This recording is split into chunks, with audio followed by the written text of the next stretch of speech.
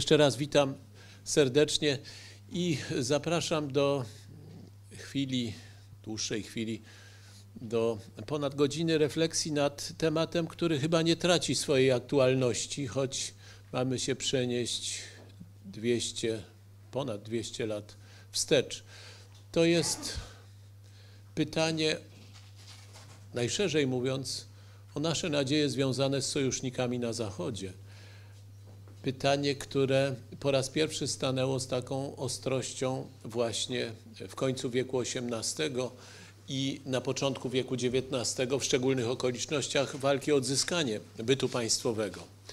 Ale ta kwestia, którą czasem można pół żartem, pół serio streścić bardzo ugruntowanym w naszej tradycji intelektualnej pytaniem Napoleona sprawa polska, ma także swoje echa czasem nie tylko e, powiedziałbym takie poważne, głębokie, ale przybiera postaci karykaturalne we współczesności. Ja przypomnę, że ostatnia e, w mojej świadomości w każdym razie manifestacja pod pomnikiem Napoleona w Warszawie, pod popiersiem Napoleona e, mm, na Placu Powstańców Warszawy. Warszawy, tak, mm, odbyła się chyba dwa miesiące temu, kiedy grupka kilkunastu osób manifestowało swoją solidarność z francuskim sojusznikiem, którego brutalnie zaatakował minister Macierewicz, pozbawiając Polskę karakali.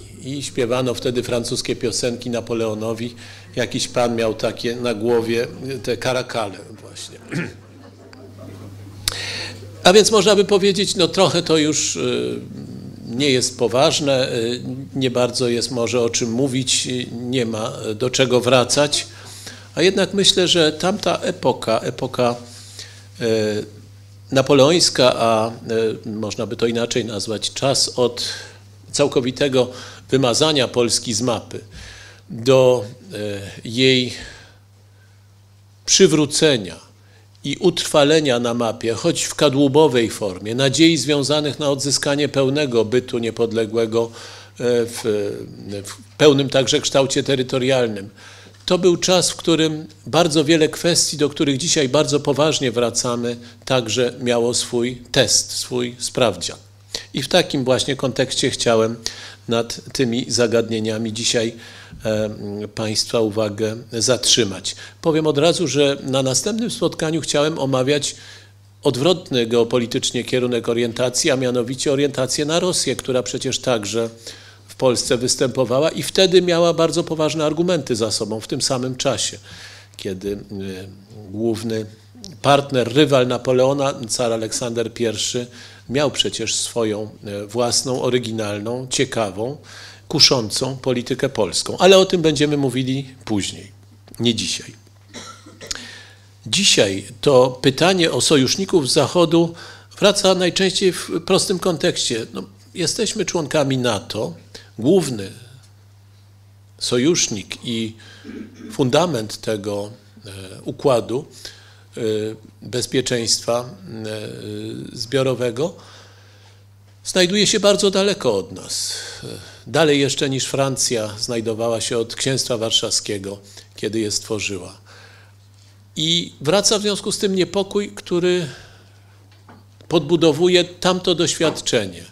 Byliśmy już kiedyś takim, e, no właśnie, dalekim sojusznikiem, a może narzędziem tylko, polityki wielkiego zachodniego mocarstwa, które uczyniło z nas, e, można powiedzieć, place d'armes, jak się to mówi e, w języku Napoleona, czyli no takie miejsce do zbrojeń, placówkę wysuniętą w strukturze imperium napoleońskiego, e, która miała pilnować tego wschodniego pogranicza Europy kontrolowanej przez Napoleona.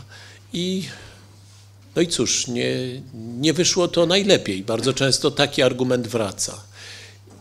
Y, przepraszam, zaraz przejdę już do samej historycznej tematyki wykładu, ale nie mogę się oprzeć jednak e, pokusie zwrócenia uwagi na pewien fenomen. Otóż ile razy zwracamy uwagę na niewypełnienie, naszych nadziei czasem, nierealnych zobowiązań sojuszniczych, bo czasem nie było to zapisane literze prawa, w jakimś sojuszu.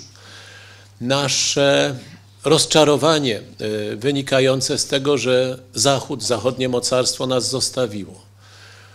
To rozczarowanie, które do dzisiaj wciąż wraca jako pytanie, co będzie, jeśli na przykład Rosjanie e, zechcą zaatakować państwa bałtyckie. Jeżeli ten test, któremu poddawany jest w tej chwili Pakt Północnoatlantycki, jeszcze dyskretnie, właściwie to chodzi na razie o stosunki rosyjsko-amerykańskie e, na terenie e, tej samozwańczej republiki na wschodniej Ukrainie, gdzie rozpoczęły się z nową intensywnością walki. Czy ten test nie może być poszerzony już bezpośrednio na kraje NATO, czyli na kraje bałtyckie? Co wtedy? Czy, czy te wojska, które tam są w tej chwili rozlokowywane po raz pierwszy, z tym się wiążą i nasze nadzieje i obawy, czy to wystarczy? Czy to już jest gwarancja, po której naprawdę możemy się czuć bezpieczni jako sojusznicy tego, tego wielkiego zachodniego mocarstwa?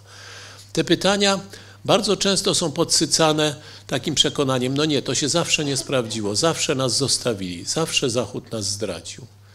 I moje osobiste doświadczenie jest oryginalne pod tym względem. E, z kilku książek, jakie e, wydałem, jedna moja książka uzyskała, powiedziałbym, duży, jednoznacznie pozytywny rezonans po drugiej stronie politycznej barykady, która niestety dzieli nas dzisiaj w Polsce.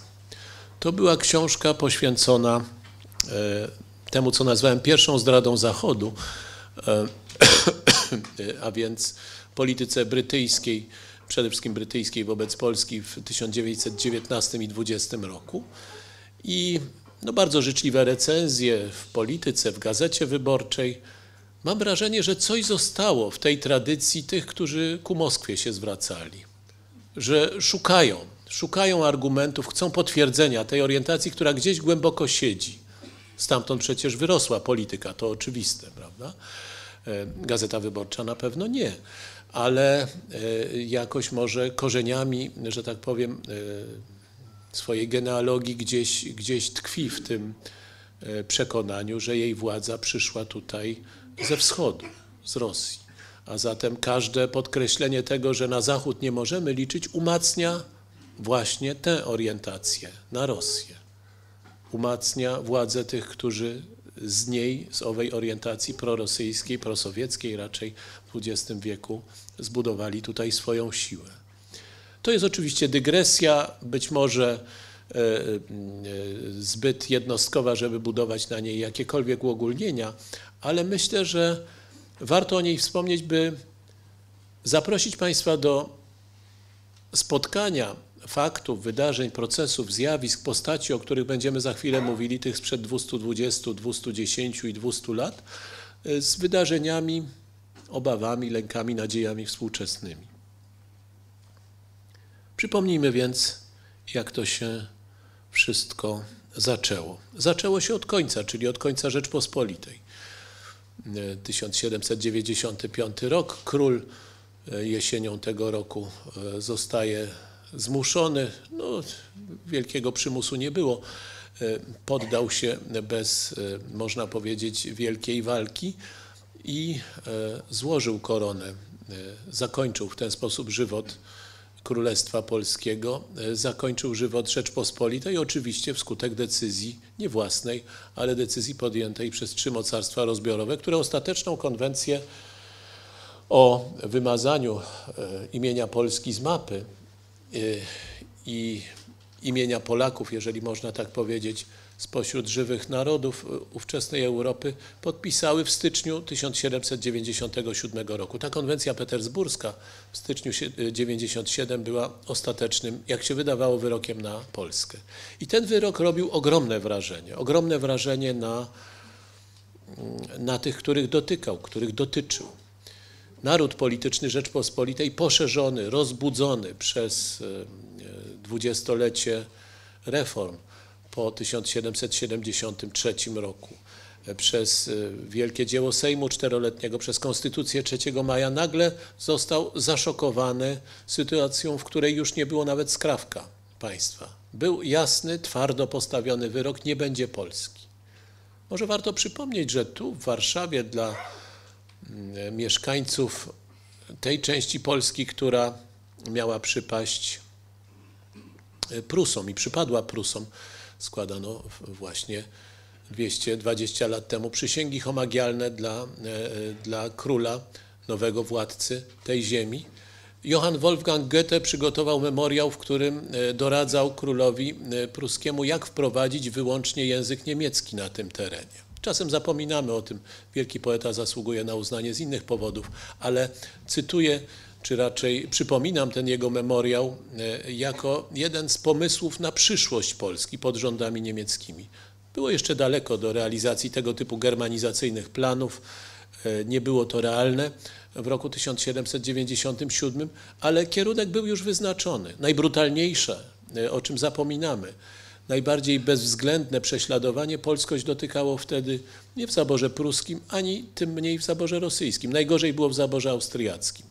E, e, tam ta germanizacja była posunięta e, najostrzej. Cesarz Józef II, słynący z skłonności do, że tak powiem, mierzenia rzeczywistości linijką, no liczył też, że, że przy pomocy tej linijki poobcina staropolskie stroje i zakaże ich używania nawet na mm, forum publicznym. Miało zniknąć w dłuższej perspektywie nie tylko imię Polski, ale język polski, stroje polskie, polskie obyczaje. E, niektórzy, jak Franciszek Ksawery Branicki, e, inicjator, współinicjator Targowicy, wyciągali stąd prosty wniosek. Polski już nie ma, od dzisiaj jestem Rosjaninem, pisał do Rzewuskiego, Seweryna Rzewuskiego, współtargowiczanina wtedy. Ludzie, których kojarzymy bardziej z orientacją patriotyczną, bez cudzysłowu i bez żartu e, mm, ponurego, e, także właściwie podzielali tą samą rozpacz, a mianowicie uważali, że to już koniec, że nie podźwigniemy się. Pisał tak książę Adam Jerzy Czartoryski swoją obszerną, poetycką odpowiedź na katastrofę rozbiorów w Bardzie Polskim, rozpaczał nad upadkiem Rzeczpospolitej E, Franciszek Karpiński, którego przecież cudowną kolendę Bóg się rodzi śpiewamy co rok e, w okresie świątecznym. Też przecież napisał z tej okazji, zamknął się zrozpaczony właściwie, no można powiedzieć, popadł w taką, w taką, jak to dzisiaj byśmy nazwali, głęboką dożywotnią depresję po ostatnim rozbiorze Polski, ale pożegnał się publicznie, jeśli można tak powiedzieć, swojej twórczości z tym światem wierszem, który akceptował to, ten wyrok. Wyrok zapadł, nie ma już Polski, wielka sława Zygmuntów została zniszczona, zniweczona, skończyła się historia Polski. Dlaczego o tym wszystkim mówię? Dlatego, żeby uświadomić, jak ważne było pojawienie się na takim horyzoncie, tak czarnym horyzoncie, jakiejkolwiek nadziei, że można się nie pogodzić z tym wyrokiem. Że to, że tutaj trzy kordony rozbiorowe się spotykały gdzieś na terenie województwa kieleckiego, bo pamiętajmy, niedaleko na południe od Warszawy była, e, była granica z Austrią, e, oczywiście za Bugiem Rosja. E, to nie wystarczy, że Polska może się podźwignąć. Ten kamień grobowy nie jest dość silny, żeby złamać Polaków. Otóż nie byłaby ta nadzieja możliwa, nie mogłaby ona stać się zjawiskiem szerszym, bo oczywiście jednostki mogły się nie zgodzić, mogły spiskować, ale bez jakichkolwiek widoków na powodzenie.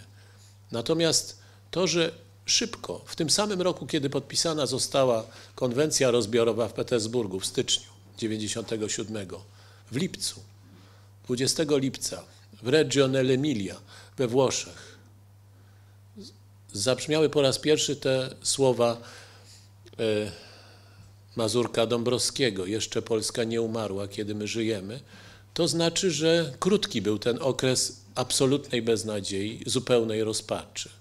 Że podźwignięta została ta nadzieja w związku z sytuacją polityczną, której symbolem stał się młodziutki, wtedy zaledwie 28-letni generał Napoleon Bonaparte, który od dwóch lat, czy od kilkunastu miesięcy, nawet od niespełna dwóch lat, E, podbijał Włochy ku zaskoczeniu wszystkich z tak olśniewającą, można powiedzieć, łatwością, bijąc Austriaków wtedy na tym italskim froncie.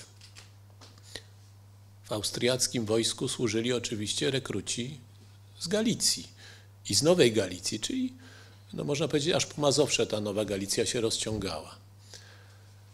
Dzięki temu można było czerpać dużą siłę rekrucką z obozów jenieckich, bo były przecież takie obozy dla jeńców wziętych z armii austriackiej, wśród których już właśnie latem 1797 roku ponad 20 tysięcy to byli polscy żołnierze służący austriackiemu cesarzowi.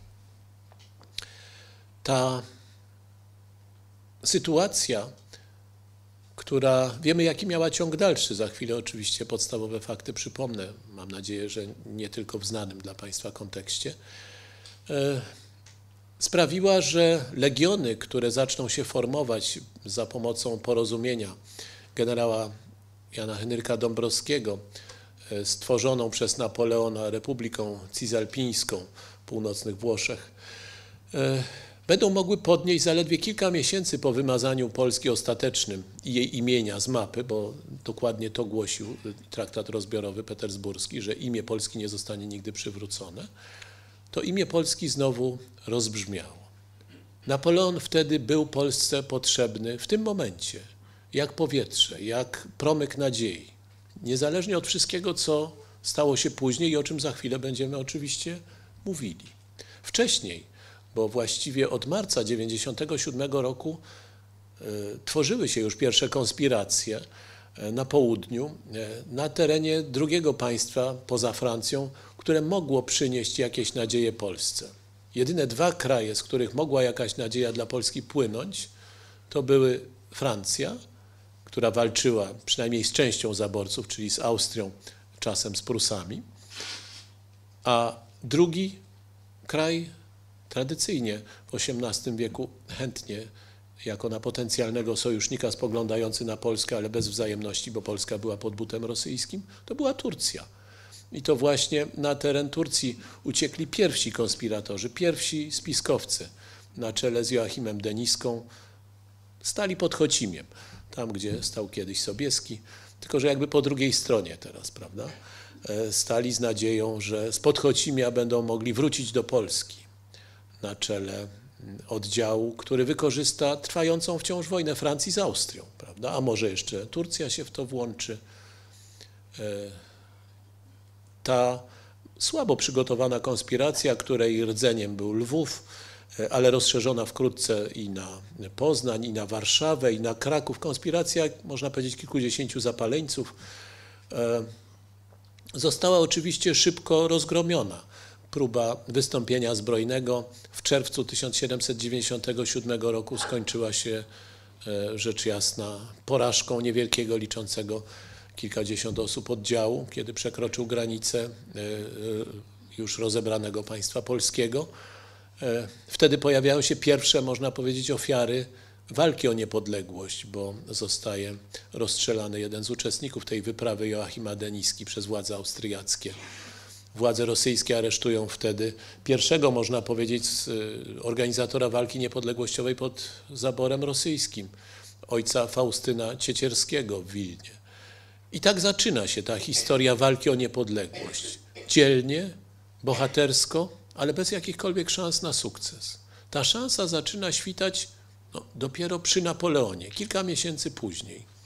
Zachęcam Państwa, jest taki, jest taki portal internetowy, w którym są zgromadzone, w tej chwili adresu nie podam, ale myślę, że da się to opisowo przez Google dla zainteresowanych e, znaleźć, w którym są zgromadzone audycje Radia Wolna Europa. Te archiwalne kilkudziesięciu lat. Wśród nich jest audycja zrobiona w formie reportażu z pierwszego wykonania e, Mazurka Dąbrowskiego. Coś fenomenalnego. Świetny dziennikarz Radia Wolna Europa chyba w 1960 roku nagrał to jak reportaż z widowiska sportowego, no bo, bo była to parada, było to publiczne święto. To było zresztą święto, na którym po raz pierwszy został wykonany polski hymn i po raz pierwszy została publicznie pokazana flaga włoska, taką jaką znamy, bo wcześniej rzecz jasna Włochy były podzielone wyłącznie na kraje, których symbolami były dynastyczne znaki poszczególnych władców. A więc ta historia polsko-włoska rzeczywiście spotkała się wtedy 20 lipca w Regione Emilia w sposób niezwykły, bardzo piękny. Ale ktoś powie, no dobrze, ale przecież jakie były dalsze losy tych legionów? One owszem, będą jeszcze się błąkały po Włoszech, przepraszam za to określenie, będą walczyły, będą próbowały służyć zgodnie z umową, którą podpisał Jan Henryk Dąbrowski z Republiką Cisalpińską, oczywiście za zezwoleniem głównodowodzącego francuskiego na tym teatrze działań wojennych, czyli Napoleona.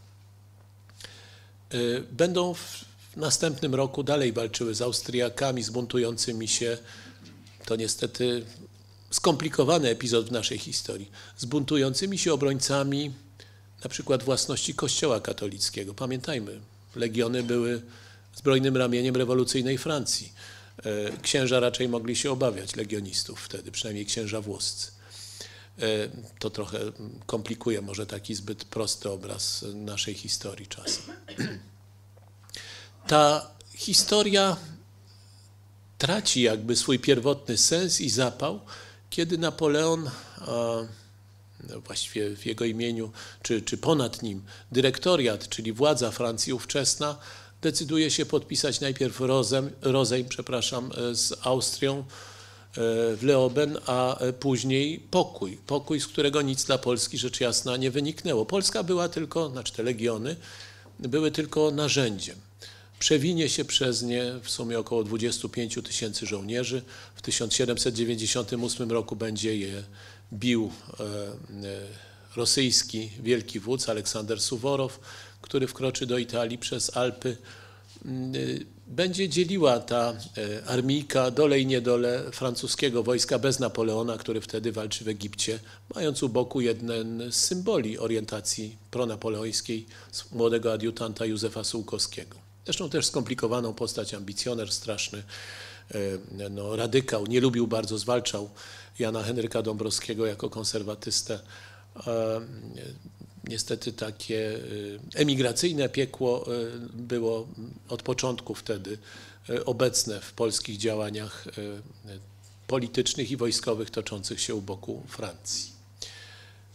Warto może jeszcze, zanim y, przejdziemy do najbardziej dramatycznych momentów związanych z historią legionów, króciutko oczywiście, y, przypomnieć skąd się wziął generał Dąbrowski.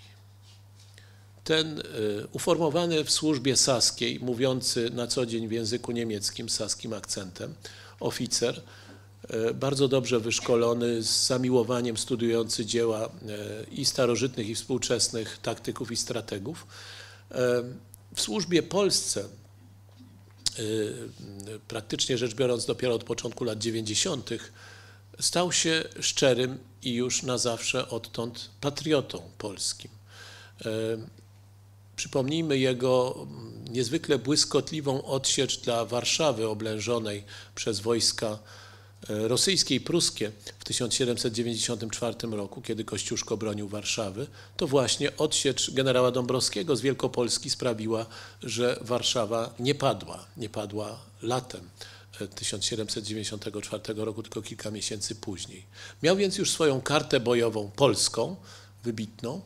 E, to była no, znana i udana akcja. Przypomnę, że generał Dąbrowski wyzwolił nawet przez chwilę wtedy spod panowania pruskiego, już tam ustanowionego Bydgoszcz w czasie tej operacji. E, niektórzy mieli nadzieję, że może pójdzie gdzieś dalej, na teren Pomorza. To była bardzo ważna nuta w tej kampanii, która odezwie się właśnie w naszym hymnie, bo nasz hymn ma słowa nietypowe dla naszej wcześniejszej historii. Czy wcześniej w centrum naszej historii była Warta, było morze, był Czarniecki, nie, raczej na wschód. Te, te miejsca, z którymi związane były najpiękniejsze, najczęściej wspominane karty naszej historii, to ktoś by raczej mógł zaśpiewać Dniepr, Niemen, prawda, Wilno, Lwów, czy jakieś inne wymienić. A w naszym hymnie jest wymieniony Poznań, morze, w sensie bałtyckie, Dania, no i daleka Italia. To właśnie jest echo tej drogi bojowej Jana Henryka Dąbrowskiego, oczywiście także autora e, tych słów Józefa Wybickiego, szlachcica z Pomorza. Ale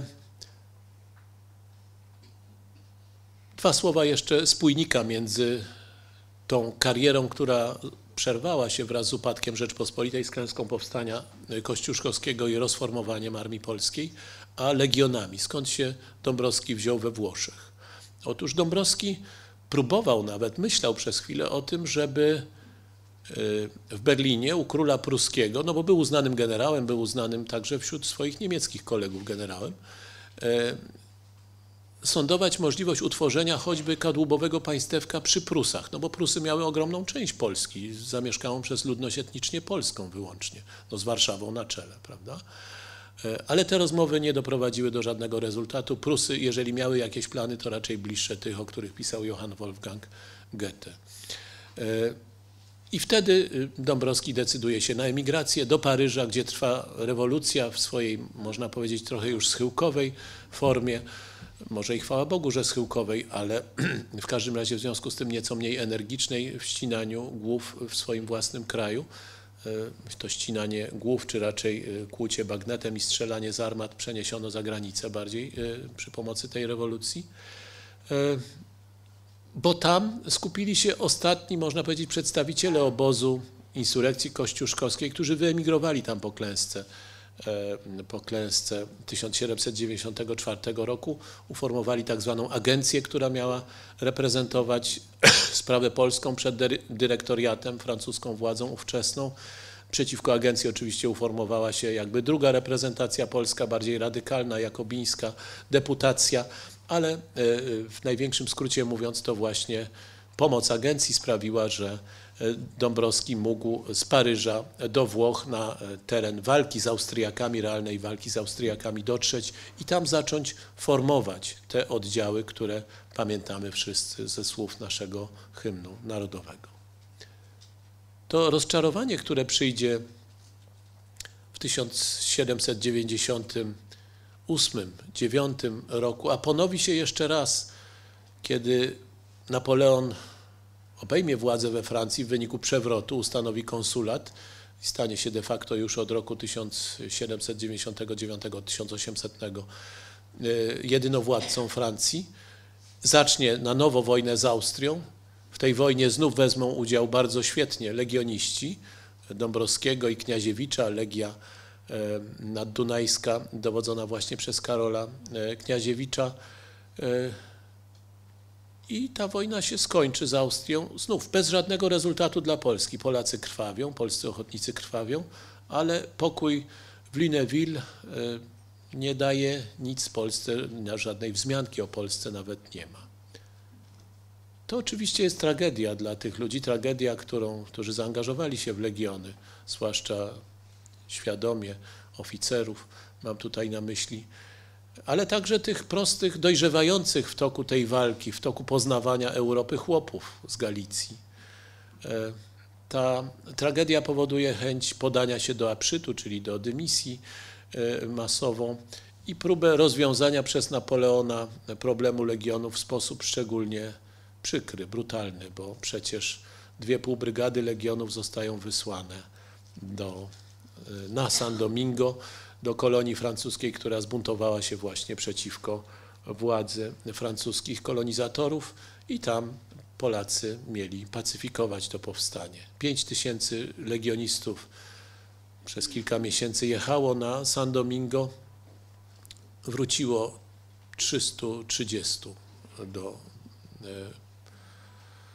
e, do Europy. 4 tysiące zginęło lub zmarło z chorób, część została tam, e, pozostawiając także niebieskie oczy i polskie nazwiska części ludności na Haiti, e, a niektórzy przenieśli się na Kubę, więc i tam można część tych polskich genów do dzisiaj spotkać. To w istocie była tragedia i hańba, można tak powiedzieć, dla tej idei oparcia się o Zachód. Nic z tego nie wyszło. Wielka tragedia.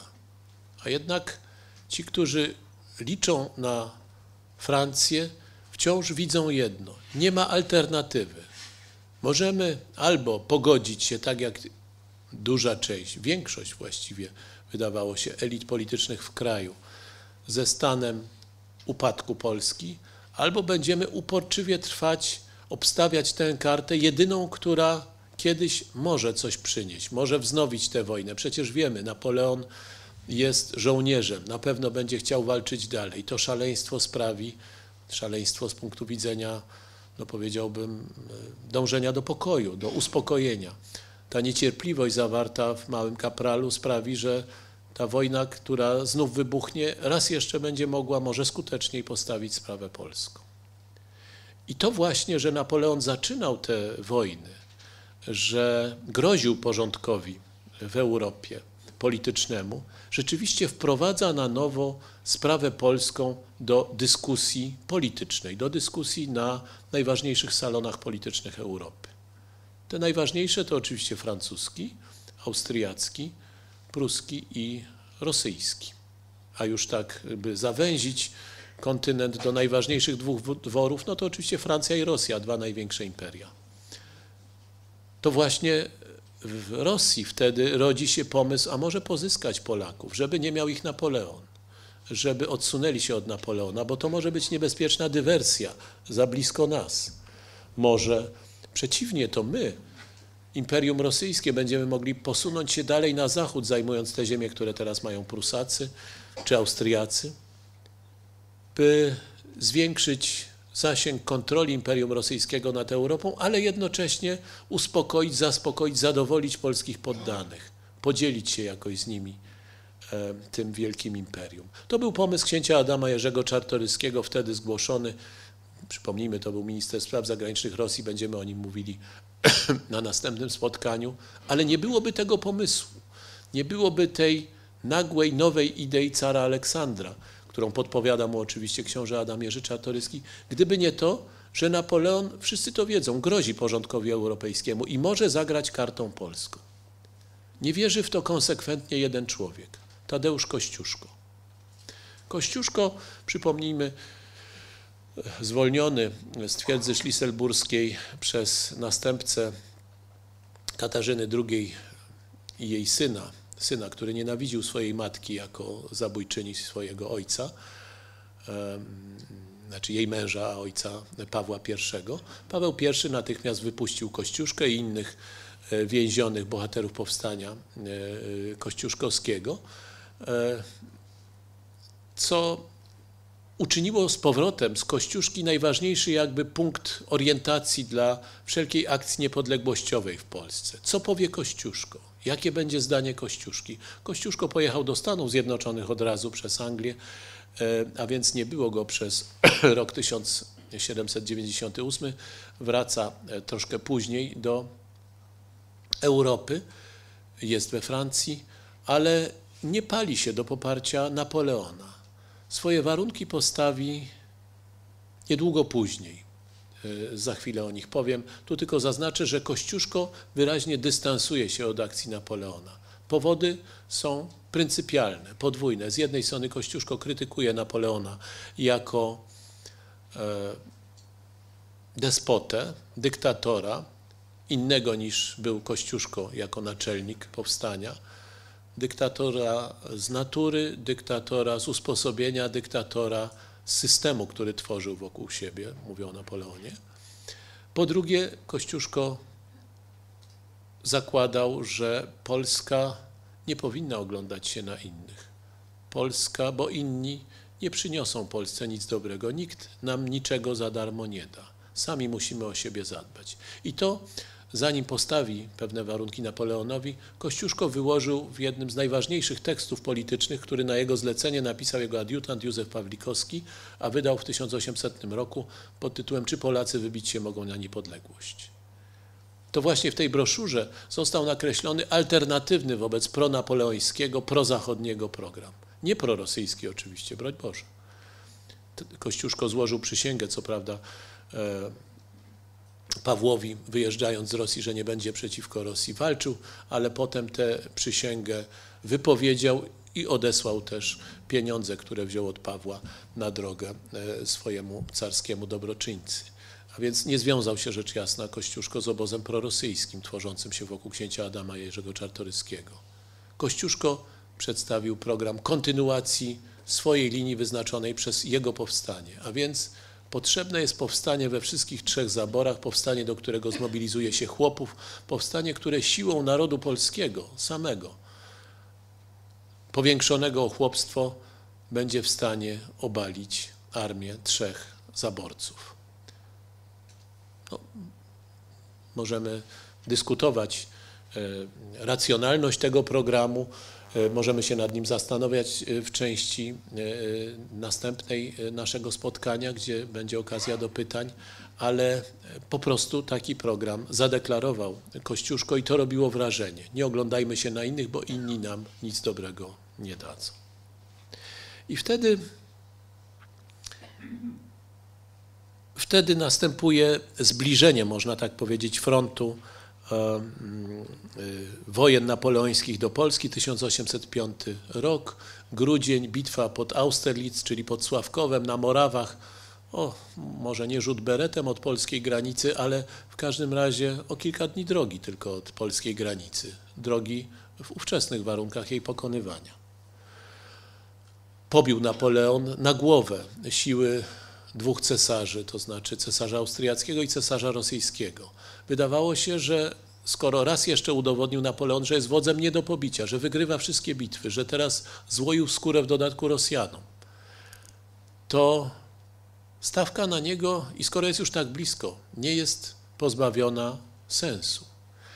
Ta stawka okazała się tym bardziej uzasadniona w tym momencie, że okazało się właśnie w 1805 roku, że nadzieje na cara rosyjskiego jako wyzwoliciela i zjednoczyciela ziem polskich nie spełniły się. Książę Adam Jerzy Czartoryski, który przedstawił, przygotował dla swojego cara jako minister spraw zagranicznych tak zwany Mordplan gegen Preußen, czyli plan zabicia Prus, żeby Rosja uderzyła na Prusy, odebrała wszystkie ziemie polskie Prusom e, i ewentualnie w dalszej perspektywie jakoś umówiła się z Austrią w sprawie odzyskania Nowej Galicji i Galicji i zjednoczyła wszystkie ziemie pod swoim berłem. Ten plan został e, z dnia na dzień sprzedany przez Aleksandra, który uznał, że w imię starej przyjaźni lepiej pogodzić się z królem pruskim niż iść za mrzonkami, które podpowiada mu Czartoryski. A więc orientacja prorosyjska podupadła bardzo w tym momencie. Momentem, w którym orientacja na zachód stała się realną, uzasadnioną kalkulacją polityczną, ponad wszelką wątpliwość już uzasadnioną, było wypowiedzenie wojny Francji przez Prusy. Prusy wojownicze myślały, że pokonają Napoleona, e, że zapanują nad całymi Niemcami, chciały wyprzeć zachodnich Niemiec Francję. E, wypowiedziały wojnę Napoleonowi. Napoleon pobił Prusaków w sposób, którego sam się nie spodziewał, że aż tak łatwo mu to pójdzie.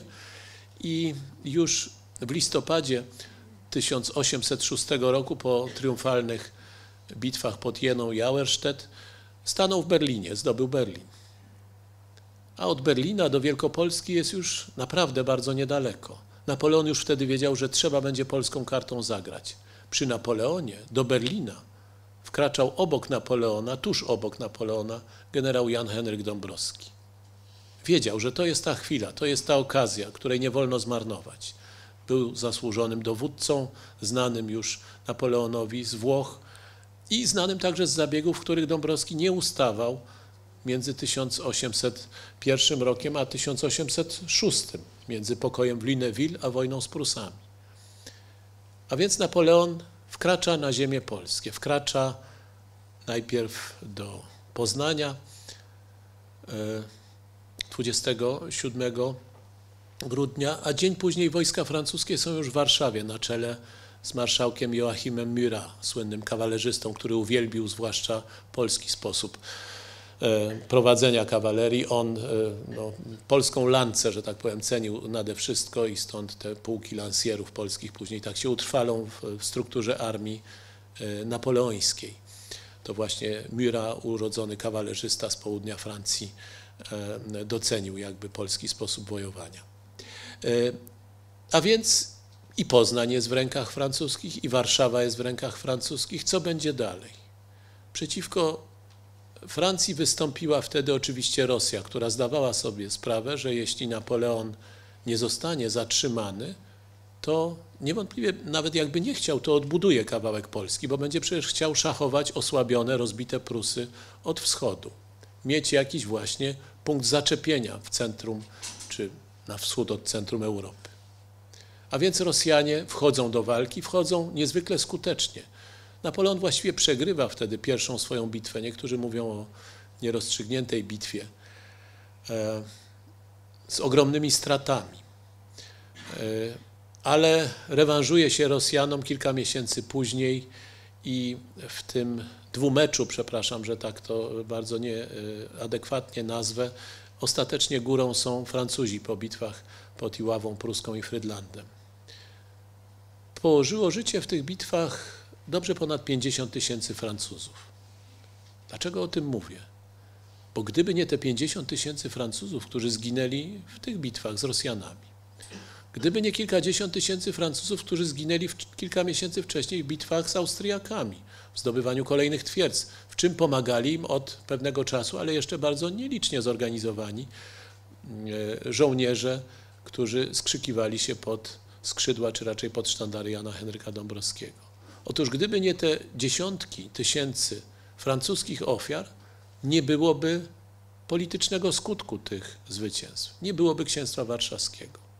Mówię to dlatego, że najczęściej powraca tego rodzaju zarzut w stosunku do orientacji napoleońskiej. No ale przecież Polska krwawiła. Nie tylko chodzi o Santo Domingo, nie tylko chodzi o straty idące w sumie łącznie w legionach, w kilkanaście tysięcy, ponad połowę stanu. Ale nawet jeśli wziąć pod uwagę te największe straty, które przyjdą potem w związku z wojną 1812 roku, kiedy no blisko 90 tysięcy żołnierzy gdzieś przepadnie w Rosji. Nie wszyscy zginęli może, nie wszyscy zmarli.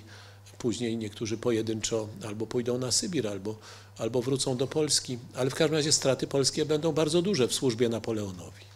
Ale nie wolno rozpatrywać tych strat bez wzięcia pod uwagę, że wcześniej były straty francuskie, w tym co Napoleon propagandowo nazwie pierwszą wojną polską bo wojna 1806-7 była nazwana przez Napoleona pierwszą wojną polską. Dlaczego? Bo skończyła się ostatecznie powołaniem w lipcu 7 lipca 1807 roku kadłubowego państewka o nazwie Księstwo Warszawskie. Nieco ponad 100 tysięcy kilometrów kwadratowych, 2 miliony 600 tysięcy ludności, no ale Warszawa była polska. Administracja była polska, wojsko było polskie. Powstał ten kadłubek i okazało się, że wiążą się z nim niespożyte nadzieje.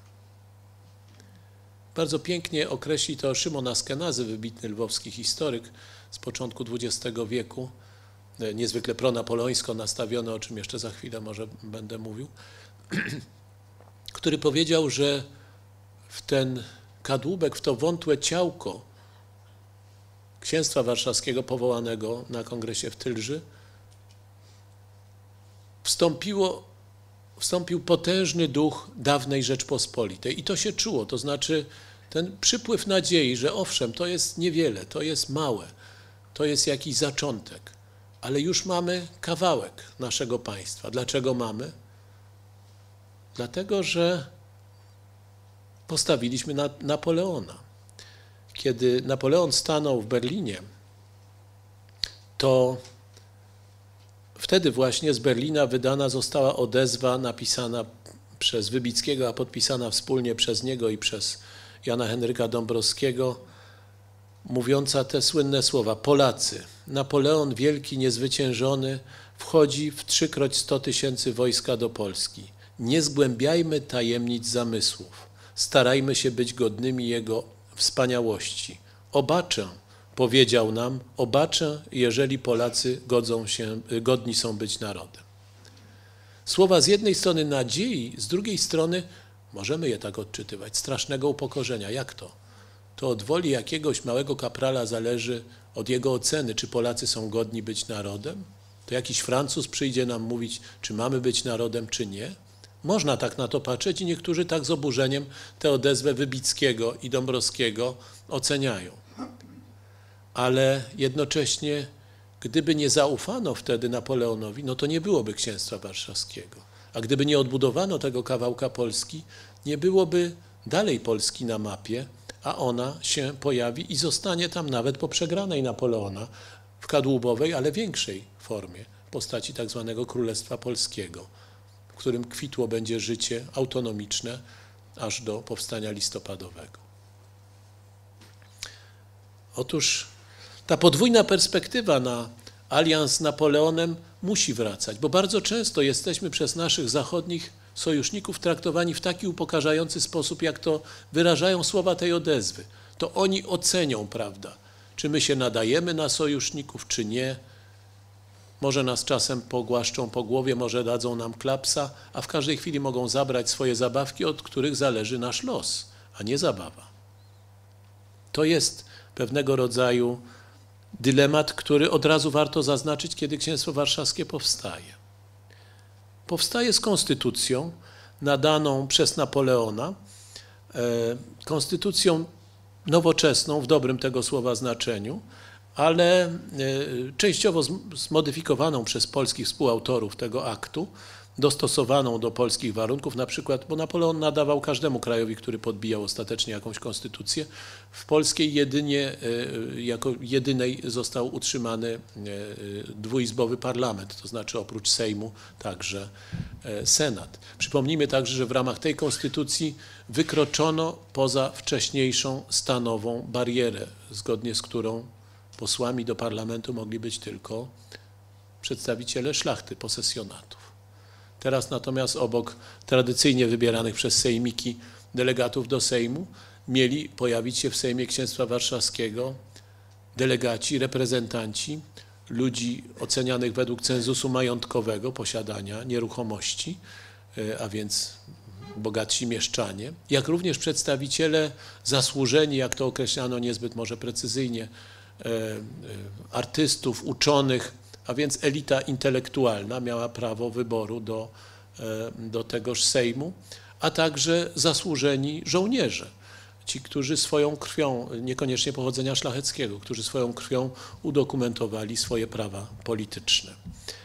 To wydaje mi się był, e, był krok, który warto zapamiętać e, jako, jako wzmocnienie polskiej tradycji republikańskiej, która poszerza się na nowe grupy społeczne. Ale oczywiście znów możemy spojrzeć na to z drugiej strony. Jest Sejm, są w nim nowi przedstawiciele różnych grup społecznych, ale przecież nad tym wszystkim jest formalnie najważniejszy e, w księstwie warszawskim król Saski, bo to on stał się księciem warszawskim z nominacji Napoleona. Dlaczego? No po prostu dlatego, że Napoleon uważał, że księstwo warszawskie przyda się razem z Saksonią, to będzie mocniejsza kombinacja, właśnie do blokowania Prus pomniejszonych, że razem Polska z Saksonią stworzą jakąś przeciwwagę dla rewizjonizmu pruskiego. A więc kto tu rządzi? Czy, czy Polacy rządzą u siebie, czy rządzi bardziej y, król Saski? Ten nie był szczególnie y, no, zaborczą, jeżeli można tak powiedzieć, osobowością. Rządzili w Polsce francuscy generałowie i rezydenci. Najpierw przez kilkanaście miesięcy marszałek Davout, zresztą sprzyjający Polsce, bardzo wybitny dowódca francuski, e, a później rezydent y, Francji, czyli no, przedstawiciel dyplomatyczny Edouard Bignon, Y, który też zresztą był dość życzliwie do Polski nastawiony. Ale znów mamy tutaj jakby poczucie dyskomfortu, kiedy na to patrzymy z dystansu, a wyobrażam sobie, że mieli to poczucie i wtedy, patrzący bezpośrednio na to, obywatele polscy. No rządzi nami znów jakiś ambasador. Nie jest to rosyjski ambasador, może, może nie jest taki brutalny, jak był Stackelberg, prawda, czy, czy Igelström, e, ale jednak ta cała fasada demokracji, sejmików, poszerzenia e, praw obywatelskich troszkę jest no, kompromitowana przez to, że za sznurki i tak pociągają władze, które swoje centrum mają w dalekim imperium, francuskim imperium. To jest jakaś, jakaś dwuznaczność. Zawsze bycie partnerem słabym i zależnym skazuje na tego rodzaju dyskomfort. Pytanie, czy chcemy trwać w tym dyskomforcie, czy traktujemy księstwo warszawskie w tym przypadku jako pierwszy etap na drodze na której chcemy dojść do silnego, dużego, ważnego, bardziej partnersko w związku z tym traktowanego państwa przez imperialne centrum, czyli w tym przypadku przez Francję. Oczywiście tak na to patrzyli młodzi ludzie, zwolennicy e, tego e, nowego państwa i idei jego poszerzania. Oczywiście wiemy, rozwija się wtedy to jeszcze zimą 1806-1807 romans Napoleona e, z panią Walewską, ale nie wiązałbym z nim jakichś szczególnych skutków politycznych. Te skutki wiązały się raczej z pełnym energii przyjęciem szansy, jaką daje nowa, chociaż mała państwowość. Sprawdzianem tej energii stał się rok 1809. Nowa wojna. Austria tym razem zdecydowała się rzucić rękawice Napoleonowi nieroztropnie. No i zaatakowała w związku z tym księstwo warszawskie także. Jak wiemy, książę Józef który był głównodowodzącym e, wojska księstwa warszawskiego, zasłynął wtedy i dzielnym, e, bardzo dzielnym e, zachowaniem całej swojej armii i dowodzeniem tu w Warszawie w bitwie pod Raszynem, a później wspaniałym manewrem po oddaniu Warszawy, bo nie chciał jej narazić na nowe zniszczenie po rzezi Pragi i splądrowaniu Warszawy przez Suworowa ledwie kilkanaście lat wcześniej przeniósł ciężar do Galicji ze swoją armią. Jak wiadomo, wyzwolił dużą część Galicji Zachodniej i tak zwanej Nowej Galicji, czyli e, Kieleckiego, Lubelskiego. I w ten sposób, dzięki temu, Polska została po raz drugi powiększona, czy raczej ta odbudowana, kadłubowa Polska została powiększona do większej, już bardziej nadającej się do życia. Teraz już liczyła prawie 4,5 miliona mieszkańców teraz już w Polsce była większość ziem centralnych, etnicznych naszego kraju. Ta Polska oczywiście była Napoleonowi potrzebna po to, by funkcjonować dalej jako place d'armes na wschodniej rubieży imperium i być narzędziem w dalszej polityce cesarza. Za chwilę do tej metafory narzędzia przejdę w paru cytatach, które pozwoliłem sobie tutaj przynieść.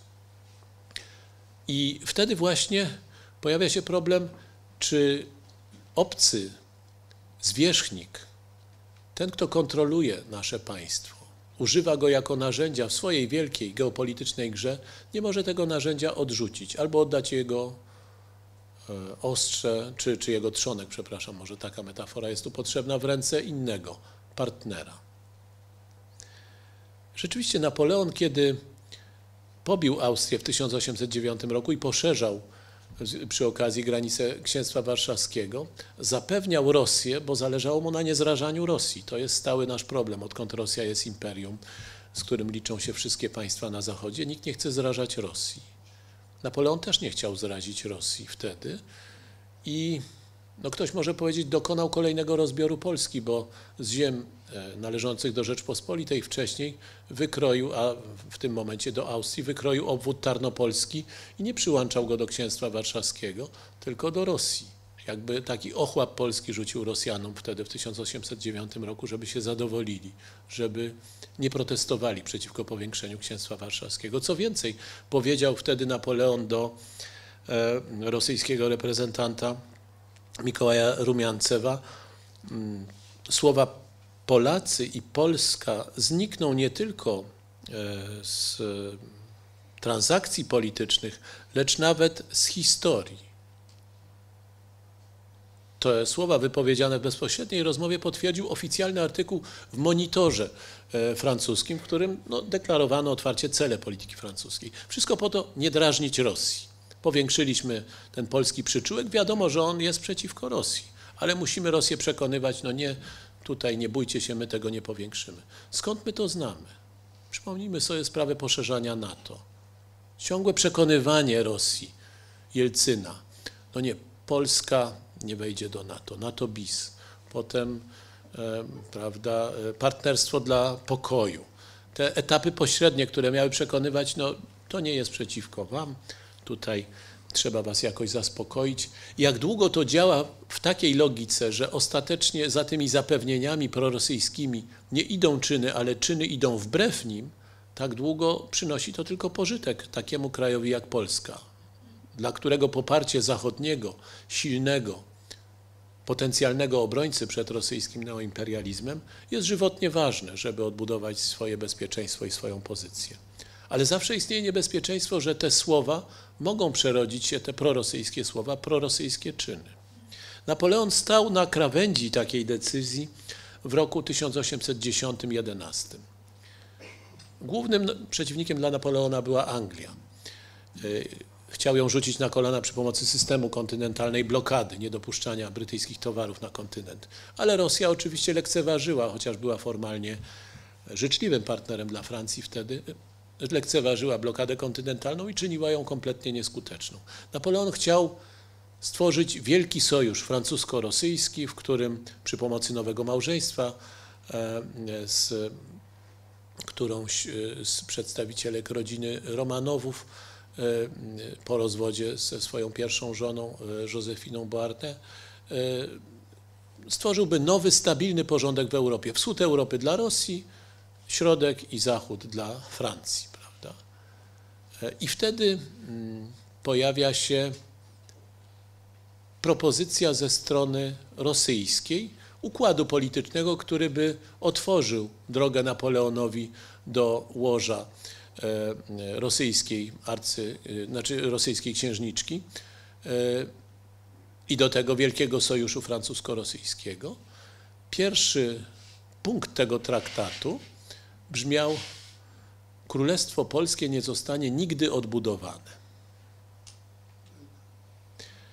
To było najważniejsze dla Rosji. Nie wolno odbudować Polski. I Napoleon odrzucił ten, e, ten projekt, bo wiedział, że no nie da się zwodzić Rosji pięknymi słówkami, tylko trzeba albo oddać teraz Polskę Rosji, albo powiedzieć nie, za dużo chcecie, ja wam księstwa warszawskiego nie oddam. I Napoleon Oczywiście nie tylko z powodu Polski, to był jeden z wielu e, powodów. Najważniejszym było, była irytacja, powtarzam, Napoleona na nieskuteczność blokady kontynentalnej i rolę Rosji w tym właśnie dziele. I przede wszystkim wzmocnienie Rosji. Rosja wtedy podbiła Finlandię, przypomnijmy, zabrała ją Szwecji e, i podbijała Mołdawię, e, walcząc z kolei z Turcją. A więc Rosja poszerzała także swoje rubieże w Europie. Napoleon widział to i uznał, że to jest pora do konfrontacji. W Polsce oznaczało to oczywiście wybuch entuzjazmu, nadziei, które najpiękniej odmalowuje oczywiście pan Tadeusz i to o roku ów i to wszystko, co po nim następuje. Um, nadzieję na odbudowanie Wielkiej Rzeczpospolitej. Wtedy pojawiła się szansa na zrealizowanie tego projektu, który postawił jako warunek sześć lat wcześniej Kościuszko. Kościuszko bowiem, o czym nie wspomniałem, a powinienem był to zrobić, kiedy Napoleon wkraczał do Polski po raz pierwszy, do Poznania, a potem do Warszawy, e, Napoleon sobie zażyczył, żeby ściągnąć Kościuszkę jak najszybciej do niego, no bo to będzie najlepszy symbol, żeby pozyskać Polaków. Y, minister policji Fusze, który miał wykonać to zadanie i który nie chciał, żeby Polska się, znaczy żeby Francja się angażowała w popieranie sprawy polskiej, przedstawił to Kościuszce w taki sposób, że Napoleon chce go po prostu no jak więźnia przytransportować do siebie, licząc, że właśnie sprowokuje tym Kościuszkę do odmowy. Kościuszko chyba nie tylko z tego powodu odmówił y, i postawił warunki. Napoleon ma odbudować Polskę w pełnych granicach z tysiąc, sprzed 1772 roku, czyli zabrać wszystko Rosji, no bo to największa zdobycz. Rosja miała 460 tysięcy kilometrów kwadratowych e, ziemi Rzeczpospolitej. I ta Polska ma być całkowicie od Francji niezależna. Nie ma być satelitą Francji, tylko ma być niepodległym państwem urządzonym po swojemu, a nie po, przepraszam za brzydkie określenie niegramatyczne, nie po francuskiemu. Napoleon oczywiście odmówił, zlekceważył to, machnął ręką, chociaż manifest y, Wybickiego i Dąbrowskiego zapowiadał, że za chwilę tutaj przyjedzie Kościuszko z Napoleonem. No nic z tego nie wyszło. Kościuszko siedział na emigracji wewnętrznej i krytykował Napoleona. Ale w 1812 roku była nadzieja zjednoczyć większość Polaków. Nie wszystkich, ale zdecydowaną większość Polaków wokół Napoleona. Wokół programu odbudowy Rzeczpospolitej, który wydawał się realny w tym momencie. Napoleon oczywiście nie był zdecydowany co do odbudowy Rzeczpospolitej. Chciał rzucić na kolana Rosję i dogadać się z nią, porozumieć. On nie chciał podbić Rosji. ale nigdy nie wiadomo, jak się kończą działania wojenne, a zatem scenariusz odbudowy Rzeczpospolitej był możliwy i był realny. I to jest właśnie moment, kiedy w maju 1812 roku powołana została Konfederacja Narodu Polskiego. Wielka Konfederacja, która miała przejąć z rąk księcia warszawskiego, czyli króla saskiego, władzę nad krajem. Konfederacja, której formalnym marszałkiem został staruszek Adam Kazimierz Czartoryski, ojciec Adama Jerzego, no już wtedy ponad 80-letni, którą sterowali oczywiście praktycznie Francuzi i e, znakomicie prowadzący Ministerstwo Skarbu w Księstwie Warszawskim Matuszewicz. Ale entuzjazm był prawdziwy, niezależnie od tego, że fasadowa była nieco ta konfederacja, e, to, to entuzjazm był autentyczny. Ten entuzjazm nie udzielił się tylko w części rodzin szlacheckich i magnackich, e, głównie na terenie Wielkiego Księstwa Litewskiego należącego do Rosji, gdzie Aleksander, rzecz jasna, szykując się do wojny, car Aleksander ożywi program propolski. Prawda? Obietnice. No, Napoleon wam tutaj coś obiecuje, ale ja wam obiecam też autonomię. Na Litwie będą polskie stroje, będzie, znaczy polskie y, wojsko jakby po, w polskich strojach, będzie daleko posunięta autonomia. Oczywiście już istnieje przecież Polski Uniwersytet w Wilnie i Polskie Wspaniałe Liceum w Krzemieńcu, już wcześniej odnowione pod kuratelą księcia Adama Jerzego Czartoryskiego. A więc znów wraca starcie dwóch orientacji, prorosyjskiej i profrancuskiej. Ale w 1812 roku oczywiście latem górą jest profrancuska. Wiemy jak się to kończy. Polacy e, liczbie ponad 100 tysięcy biorą udział w pochodzie Wielkiej Armii na Rosję, pochodzie, w którym odznaczyli się niezwykle wybitnymi czynami wojskowymi. Przypomnę, no takie najbardziej symboliczne. Polacy 17-18 sierpnia zdobywają Smoleńsk przez tak zwany wyłom zygmuntowski, który zostawiły wojska Zygmunta III Wazy w roku 1612. E, oddział 10 Pułku Łanów, e, Huzarów, przepraszam, pułkownika Jana Nepomucena Umińskiego wkroczył jako pierwszy do Moskwy, na Kreml, po bitwie pod Borodino, krwawej bitwie, w której zginęło po obu stronach 90 tysięcy ludzi. A więc Polacy znów byli w Smoleńsku, znów byli na Kremlu, tak to wspominamy czasem, ale czy była wtedy realna szansa na ustanowienie, ustabilizowanie poszerzonej polskiej państwowości przy Francji? Był jeden moment, kiedy proponował to książę Józef jako dowódca jednego z korpusów francuskich, mówiąc Napoleonowi, by oddzielić korpus polski od głównego kierunku uderzenia na Moskwę i skierować go na południe, na Wołyń, na Podole, na Ukrainę, że tam są tam jest polska szlachta, tam są polskie miasta, tam jest szansa zbudować duże poparcie dla odbudowy państwa polskiego i zablokować idące stamtąd właśnie, czy przez te ziemię, z południa, z Mołdawii, po wojnie z Turcją, oddziały rosyjskie generała Cziczagowa. Napoleon, zgodnie ze swoim instynktem wojskowym, bo tutaj wojskowy w nim przeważał nad polityku, politykiem, muszę mieć, przepraszam, wszystkie siły skoncentrowane na głównym kierunku ataku. Muszę pobić Rosjan, rozbić ich całkowicie, więc nie puszczę księcia Józefa, nie puszczę Polaków na południe, na ziemię ruskie, e, tylko e, idziemy wszyscy razem na Moskwę. To jest pole do gdybań. Co by było gdyby, gdyby Polacy tam zostali, gdyby utrzymali się przez zimę, gdyby ta wojna przeciągnęła się na terenie Rosji na rok 1813. Nie byłoby takiego odwrotu Wielkiej Armii, może nie byłoby takiej klęski, może byłaby Polska odbudowana. Nie wiemy, ale przytaczam ten scenariusz niezrealizowany ostatecznie, ale traktowany poważnie przez zgłaszającego go księcia Józefa jako przejaw tego, że stawka na Napoleona, na to zachodnie imperium była najbliżej pełnej realizacji, pełnych ambicji polskich, odbudowy Polski w pełnych granicach. Wszystko to oczywiście rozbije się wraz z odwrotem wielkiej armii, ja może e, przypomnę, że mm, w bitwie pod Borodino, tej najsłynniejszej bitwie wśród ofiar, gdzie było wielu Polaków także, choć nie tyle co e, gwardii francuskiej, czy Francuzów w ogóle, Zginął innymi syn e, Stanisława Augusta Poniatowskiego, generał Michał Grabowski, bardzo dzielny dowódca, jedno z nieslubnych dzieci króla. a więc ta wojna zbierała żniwo we wszystkich stanach. Najczęściej zresztą ginęli oficerowie, dowódcy, najbardziej widoczni. Epopeja napoleońska gwałtownie zbliżyła się do końca. Zbliżyła się do tych dramatycznych wyborów, które musiał podejmować reprezentujący tę napoleońską orientację książę Józef. Wojska rosyjskie wkraczają na teren księstwa po odwrocie Napoleona. Napoleon wtedy właśnie wracając przez Warszawę na saneczkach e, e, dwuosobowych e, do Paryża, gdzie groził przewrót antynapoleoński, wygłosił te słynne słowa od wielkości do śmieszności tylko krok. Mówiąc o sobie z pewnym autodystansem, prawda, że ledwie kilka miesięcy wcześniej szedł przez tę Warszawę E, z 600-tysięczną armią e, podbijać Rosję, a teraz wraca, e, no można powiedzieć, samowtór do Paryża, zostawiwszy rozbitą kompletnie armię za sobą. Ale Napoleon próbował zebrać jeszcze siły, próbował walczyć i właśnie stworzył ten dylemat. Dylemat, w którym do stawki na zachód pojawia się, czy dodaje się pojęcie honoru.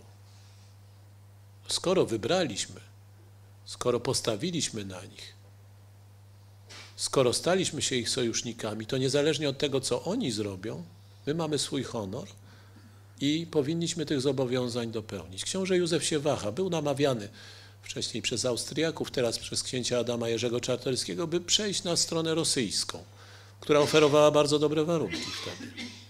Książę Józef rozważał bardzo poważnie samobójstwo. Wtedy w Krakowie rozważał to w noc kwietniową w 1813 roku e, te decyzje, co robić, prawda? Ale wybrał jednak lojalność wobec Napoleona, nie tylko z powodu honoru, choć to był bardzo ważny czynnik, autentycznie ważny w przypadku księcia Józefa Poniatowskiego, ale także z powodu stawki politycznej. No może Napoleon jeszcze raz wróci, może się uda. Jeszcze Austria była po stronie Napoleona w tym momencie. Jeszcze duża część Europy była z Napoleonem to się szybko wszystko wykruszy, jak się okaże. Ale czy można to było od razu przewidzieć? Symbol tej honorowej w tym momencie stawki na Napoleona zginie w Bitwie Narodów pod Lipskiem w październiku 1813 roku, mianowany dosłownie tuż przed śmiercią na marszałka Francji. E, przejdzie do legendy zarówno w Polsce, jak i we Francji. E, we Francji napisze o nim m.in. opowiadania Aleksandr Dumas. E, no ale oczywiście w Polsce stanie się symbolem niezłomnego rycerza, którego racje polityczne mogą być kwestionowane, ale którego honor, odwaga, dzielność wojskowa e, są poza dyskusją. To utorowało mu drogę, jak wiemy, przed Kościuszką niedługo do krypty świętego Leonarda na Wawelu. Napoleońska epopeja kończy się więc fiaskiem. Ale czy to fiasko jest zupełne? Oczywiście lansjerzy, e, szwoleżerowie gwardii towarzyszą Napoleonowi do końca. Na Elbie nawet, w miejscu zesłania w 1814 roku. Ale wiadomo już, że Napoleon upadł. Nie, ta stawka na zachodnie imperium przyniosła głębokie rozczarowanie. To, o czym rozmawiano wtedy w Polsce w 1813 roku, to było przede wszystkim strach przed tym, żebyśmy się nawzajem nie zaczęli zabijać, zwolennicy orientacji rosyjskiej ze zwolennikami orientacji francuskiej. Tego udało się uniknąć, a o tym bardzo poważnie myślano, że będzie jak w Hiszpanii. O tym nie wspomniałem, ale przecież oczywiście z tym także wiąże się epopeja napoleońska, z tłumieniem powstania w Hiszpanii i słynną szarżą e, w wąwozie Samosiera z mm, Kozietulskim na czele. Że będzie u nas jak w Hiszpanii, będziemy się zabijać, będzie wielka wojna domowa. Polacy dali wtedy dowód ogromnej mądrości. To właśnie, że książę Adam Jerzy Czartoryski próbował nawiązać kontakt z Józefem Poniatowskim. Nie było między nimi nienawiści, był wzajemny wielki szacunek. Były oczywiście kreatury, jak zawsze w każdym narodzie. Taką oczywistą kreaturą był generał Józef Zajączek, dla którego głównym celem było zawsze podgryzanie Jana Henryka Dąbrowskiego, a potem księcia Józefa Poniatowskiego i inne pomniejsze kreatury, które wiły sobie gniazdko, jak się to mówi, pod e, nowych panów z Francji w księstwie warszawskim, ale oni nie zdominowali tego doświadczenia. To doświadczenie pozostało w pamięci, i to jest może pierwsza lekcja z tej orientacji napoleońskiej, jako zryw sił żywotnych narodu polskiego gotowych do walki. Polskie wojsko pokazało się w całej Europie. Ktoś może powiedzieć, a po co się pokazywać? To było ważne. To było ważne dla samych Polaków.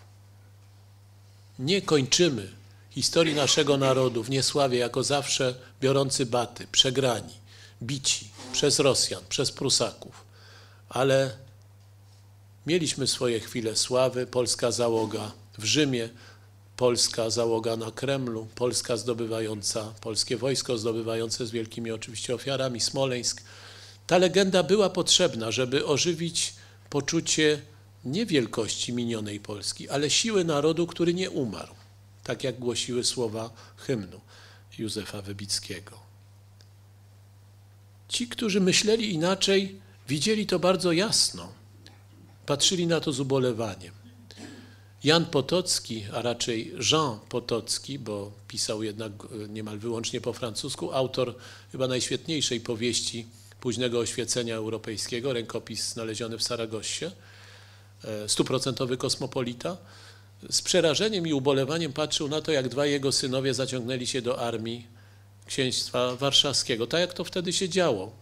Wczorajsi można powiedzieć, targowiczanie albo kosmopolici jak e, e, Potocki, ten targowiczaninem nie był oczywiście nigdy, e, patrzyli przerażeni i komentowali to właśnie takimi słowami, jakich użył sam Potocki w liście do swojej siostry. Że znów wróciła ta choroba patriotyzmu, która zrujnowała poprzednie pokolenia, a teraz rujnuje pokolenie moich synów, napisał Potocki. Tak, przez księstwo warszawskie, przez stawkę na Napoleona wróciła choroba patriotyzmu, niepogodzenia się z końcem Polski. Czy ona była potrzebna tylko polskiej psyche?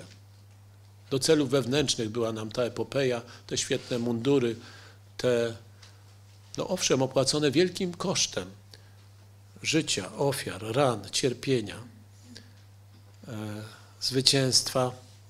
Czy to było potrzebne tylko do tego postsarmackiego, przepraszam za dziwaczne określenie, ego, które się odradzało w tych walkach. Nie. Oczywiście ważne było kilka innych elementów związanych z epoką napoleońską. Po pierwsze, realna praca, jaka została wykonana w tym półsuwerennym kraju, tu nad Wisłą. Przypomnijmy, to było wprowadzenie kodeksu cywilnego, który możemy oceniać pozytywnie lub nie, ale pewne aspekty pozytywne na pewno miał.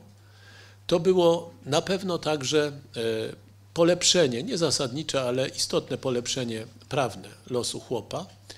I to było coś może równie ważnego, a mianowicie odbudowa edukacji narodowej tu w Polsce, w centrum Polski, w Warszawie, powołanie szkoły prawniczej w Warszawie i szkoły lekarskiej. Bez tego nie byłoby uniwersytetu, który za chwilę będzie obchodził swoją dwusetną rocznicę. Bez tego przygotowania w Księstwie Warszawskim. Ale skoro wspomniałem o tej zależności między szkołami wyższymi, jakie powstały, nie mówię o szkolnictwie średnim odbudowanym tutaj, na tych ziemiach zabranych Prusakom, e, skoro mówię o tych szkołach, które przygotowały kilka lat później, już pod zaborem rosyjskim w ramach Królestwa Polskiego, utworzonego przez Aleksandra I, powołanie uniwersytetu, to to jest właśnie najważniejsze znaczenie namacalne, fizycznie można powiedzieć mierzalne epopei napoleońskiej. Bez niej, bez księstwa warszawskiego, bez stawki na Napoleona nie zostałaby powołana do życia na kongresie wiedeńskim zamykającym tę epopeję nowa, większa, nawet lepsza można powiedzieć. Tak, można tak powiedzieć, lepsza namiastka polskości pod postacią Królestwa Polskiego. Car teraz nie boi się nazwać tego państewka Królestwem Polskim, bo on je kontroluje. To on jest królem Polski. On się koronuje w Warszawie. Ale nazwa wróciła. Instytucje autonomiczne wróciły. Nawet wojsko polskie zostało utrzymane. I uniwersytet powstanie. I to wszystko, co zostało zaczęte za księstwa warszawskiego, płynnie niejako przechodzi w epokę bardzo ważną dla kulturowego, duchowego trwania i rozwoju Polski w wieku XIX, w epokę Królestwa Kongresowego. Nie byłoby tej namiastki polskości. Nie byłoby ustalonej na kongresie wiedeńskim także zasady pewnej autonomii wewnętrznej w pozostałych zaborach. Austriacy już tak brutalnie nie będą traktowali swoich polskich poddanych, jak to robili, choć dalej będą najgorszym zaborem, e, jak to robili przed e, epoką napoleońską, a w Prusach, w Wielkim Księstwie Poznańskim zapanuje, przynajmniej w tej części Prus, no dość daleko zaawansowana, no można powiedzieć, autonomia po 1815 roku. To był efekt wywalczenia czegoś przez tę manifestację woli życia, która mogła się ujawnić przy Napoleonie. I tak to oceniano wtedy e, w większości, choć nie wyłącznie. Przypomnę słowa bohatera polskiej konspiracji niepodległościowej, jednego z największych, można tak powiedzieć, męczenników polskiej wolności w XIX wieku, majora Waleriana Łukasińskiego, który za e, współorganizowanie Towarzystwa Patriotycznego został przez cara Mikołaja skazany na, można powiedzieć, wieczne więzienie, spędzi 46 lat w izolatce, e, większość z tego w twierdzy szliselburskiej, najgorszej twierdzy w Rosji. Pod koniec życia, kiedy pozwolono mu pisać, po 46 latach izolacji to nie było łatwe, e, napisał tak w swoich pamiętnikach wtedy spisywanych. Napoleon oszukiwał Polaków dla własnej korzyści. To nam powtarzają już milion razy i w różnych językach. Niech temu wierzy kto chce. Tylko Polaki, których to bliżej interesuje, temu nigdy nie uwierzą. Aleksander i Napoleon pracowali dla przywrócenia Polski, lecz cele ich były zupełnie różne. Pierwszy chciał Polski dla siebie, drugi żądał jej istnienia dla ludzkości i bezpieczeństwa Europy i dla pozyskania sojusznika.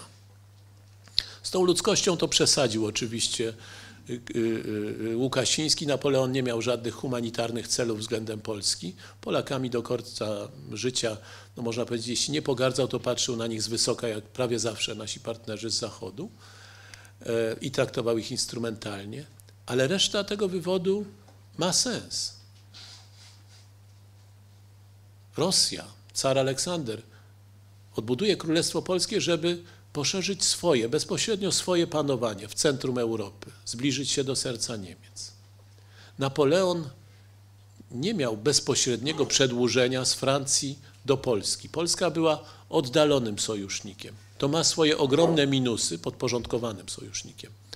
No właśnie oddalenie jest, tworzy pewne ryzyko, ale zwiększa sferę autonomii. Nie jesteśmy aż tak bardzo zależni od tego sojusznika odleglejszego. On nas musi stopniowo traktować, jeżeli sami się umacniamy, nie jako zagrożenie dla siebie, bo nie sąsiadujemy, nie rywalizujemy o to samo, ale jako coraz poważniejszego sojusznika właśnie. Tego rodzaju logika niestety nie była możliwa w stosunkach z Rosją. Bardzo pięknie, dając dowód swojej i mądrości, i szlachetności jednocześnie, opisał sens stawki na Napoleona jej główny wróg, książę Adam Jerzy Czartoryski. W 1810 roku napisał takie słowa. Niech nie mówią Polaków o niesprawiedliwościach Bonapartego, ani o tym, że nie powinni ich znosić. Wszystkie te przyczyny, które słuszną ściągnęły na Bonapartego nienawiść, bo książę Adam Jerzy nienawidząc Napoleona, nigdy nie nazywał go imieniem królewskim, tylko mówił Bonaparte. Wszystkie te przyczyny, które słuszną ściągnęły na Bonapartego nienawiść w reszcie Europy, muszą usprawiedliwić chętny posłuch, jaki on znajduje wśród Polaków. Oto nigdy nie wyrządził zła ich ojczyźnie, okazał zainteresowanie się ich losem, w każdym czasie zrobił dla nich to, co było dlań możliwym. Uznał, że Polacy mogą mu się przydać, że to są narzędzia, warte by ich użyć i że w jego leży interesie pochlebiać ich miłości ojczyzny. Otóż tego żaden inny rząd uczynić nie raczył. Tak, Polacy byli narzędziem dla Napoleona, niewątpliwie niczym więcej. Ale on chciał to narzędzie podjąć, stworzyć, zbudować. I to była szansa dla Polski, której nie dawał im żaden inny rząd w Europie czy poza Europą. I to jest argument, który warto w sporze o Napoleona brać po dzień dzisiejszy i w sporze o orientację zachodnią pod uwagę. Czy mamy lepszą alternatywę od NATO, od oparcia o Stany Zjednoczone? Mamy sąsiadów, mamy Rosję i mamy Niemcy. Ci są blisko, więc to zrozumiałe, że od nich bardziej bezpośrednio zależy nasze bezpieczeństwo lub jego zagrożenie. Ale jednocześnie ci w odróżnieniu od Stanów Zjednoczonych, które mogą i zawsze będą nas traktowały instrumentalnie, nasi sąsiedzi mają niestety w części sprzeczne z nami interesy. W ich interesie jest podporządkowanie Polski nie jako narzędzia odległego gdzieś, tylko jako kraju, w którym muszą być realizowane interesy ich, Berlina albo Moskwy, i które już nieraz były realizowane w sposób pozbawiający Polskę całkowicie bytu państwowego. To jest problem, który warto sobie uświadomić.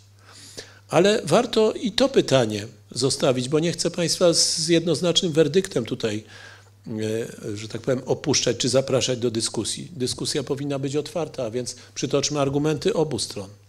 Książę Adam Jerzy Czartoryski, ten, którego już cytowałem tutaj dwukrotnie, w 1812 roku, widząc to załamanie nadziei na Napoleona, postawił także jakże słuszne pytanie.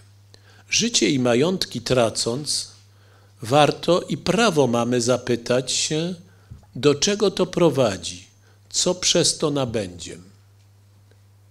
To było adresowane do zwolenników orientacji napoleońskiej. No przecież życie poświęcacie, przecież ryzykujecie wszystko w służbie tej orientacji. To macie prawo zapytać, co za to dostajecie. To trzeba zawsze pamiętać. Nie wolno zrezygnować z tego pytania, kiedy wchodzi się w sojusz z odległym mocarstwem od nas silniejszym. Musimy zawsze dbać o to, żeby mieć możliwość powiedzenia sprawdza, żeby nie wahać się postawić tego pytania, żeby oddalić niebezpieczeństwo wyrzucenia tego narzędzia, w które zostajemy przekształceni w momencie, kiedy będzie to dla nas najbardziej tragiczne. Szczególnie mądrze z doświadczenia życiowego w swojej najmądrzejszej książce opisał tę sytuację Polski hrabia Aleksander Fredro. Mam na myśli jego pamiętnik z wojen napoleońskich Trzy po trzy, jedna z najwspanialszych książek w literaturze polskiej. Przypomnijmy, że Aleksander Fredro przeszedł całą tę kampanię właśnie Moskwa, e, Lipsk, e, z Napoleonem aż do Francji w 1814 roku i towarzyszył bezpośrednio Napoleonowi. Oglądał go głównie od tyłu, co też opisuje e, w swoich niezwykle dowcipnych, ale mądrych przede wszystkim pamiętnikach. Otóż tam właśnie Fredro zawarł tę myśl, że biada narodowi, którego los zawisł od drugiego narodu. Narody sumienia nie mają. I to trzeba pamiętać. Narody sumienia nie mają. Nie, nie powinniśmy łudzić się, nawet broniąc orientacji na Zachód, na zachodnie mocarstwo, czy w roku 1809, czy w roku 2017. Pamiętajmy, narody sumienia nie mają. Indywidualni ludzie mają sumienie. I przede wszystkim trzeba tak wykorzystywać okazje polityczne, jeśli one powstają, by umacniać siebie, by Nasza niepodległość zależała od nas przede wszystkim. Ale to właśnie przecież było celem tych, którzy stawiali na Napoleona w roku 1797, 1807 czy 1812.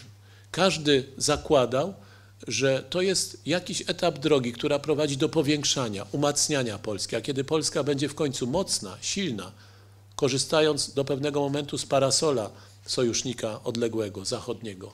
Wtedy Polska stanie na własnych nogach. Nie możemy być zawsze słabym sojusznikiem silnego mocarstwa zachodniego, ale czasem warto skorzystać z tego sojuszu, żeby wybić się na niepodległość. Spory o, o tę orientację, o Napoleona i Polskę trwają bardzo długo, po dzień dzisiejszy właściwie. Tutaj pewnie należałoby bardziej zaprosić pewnie pana Waldemara Łysiaka, który głównym był i jest specjalistą w tej dziedzinie, oczywiście jako entuzjasta e, napoleońskiej orientacji. Ale przypomnijmy, że jeżeli na jednej szali możemy położyć Mickiewicza, niewątpliwie fanatycznego Napoleonidę, czego dał dowód nie tyle w panu Tadeuszu, bo tam waży rację bardzo roztropnie. Przypomnijmy słowa Maćka nad Maćkami, e, e, czyli głównego autorytetu, można powiedzieć, tego szlacheckiego zaścianka, do którego na chwilę przenosi się akcja, który rozważa marsz Napoleona na Moskwę i mówi, że cesarz na Moskwę idzie bez Boga, to nic dobrego z tego nie będzie.